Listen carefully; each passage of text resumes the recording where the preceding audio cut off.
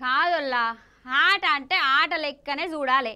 ఆడినమా గెలిస్తే గెలిచినమా ఓడితే ఓడినమా ఇంటికి పోయి అన్నం తిని పండుకున్నామా గిట్లు ఉండాలి కానీ ఆటలో ఓడిపోతే చంపుకుంటారోల్లా అగో గట్లనే అయింది. చూడుండ్రి.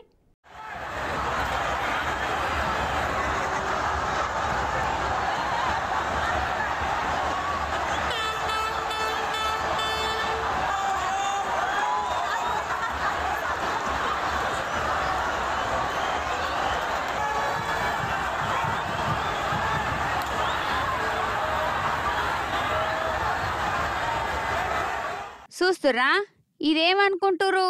ఫుట్బాల్ ఆట మైదానముల్లా మైదానంలా ఆడుకోవాలి అంతే కదా కానీ ఈ మైదానంలో మాత్రం చంపుకున్నారు ఒకరిద్దరు కాదు దగ్గర దగ్గర రెండు వందల మంది చచ్చిపోయారు అరే అవునంటోల్లా. మరి ఏమన్నా అకరకచ్చలోల్లా అంటే అది కాదు. ఫుట్బాల్ ఆటలు వచ్చిన పంచాయతట. అయితే ఇండోనేషియా దేశంలో రెండు జట్ల నడుమ ఫుట్బాల్ మ్యాచ్ నడుస్తుంది. మనకి ఈడ క్రికెట్ ఎట్లనో అక్కడ జనాలకు ఫుట్బాల్ ఆట అట్లా. అంతకంటే ఎక్కువ పిచ్చే.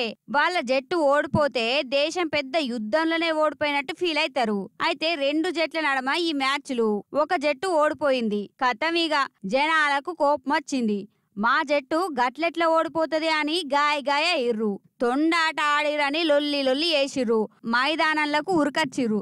పిచ్చిలేసినట్టు వేసిర్రు కనబడ్డోళ్ళను కనబడినట్టు తనుకునుడు గుదుకునుడు పోలీసులు లాఠీ చార్జ్ చేసినా పొగ జల్లినా ఇనుడే లేదు. అంత తొక్కిసలాట జరిగిందోల్లా. అందులో రెండు వందల మంది చచ్చిపోయారు ఇంకా వేల మంది దవకాన్లా పింజం పింజం అనుకుంటూ ఉన్నారు. ఘోరం కదా కాదుల్లా ఏదన్నా లొల్లి పెట్టుకుంటే ఆఖరికచ్చ లొల్లి పెట్టుకోవాలి గాని. ఆట మీద పంచాయతీ ఏందోల్లా? అరే ఓగలు గెలుస్తారు ఇంకోలు ఓడతారు. ఆట అంటేనే అది. గదానికి గిట్ల గరానికి వచ్చి సమ్ముకునేదాకా పోతే ఎట్లా?